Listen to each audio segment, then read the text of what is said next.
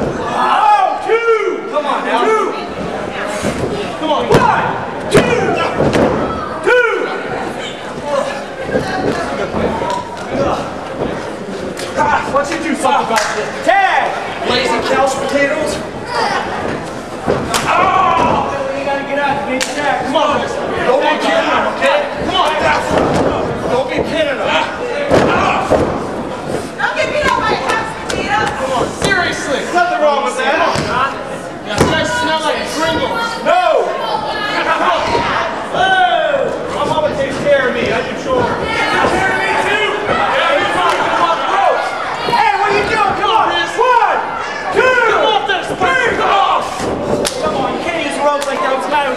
Tag!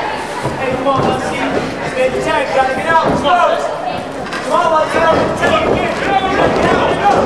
One, two.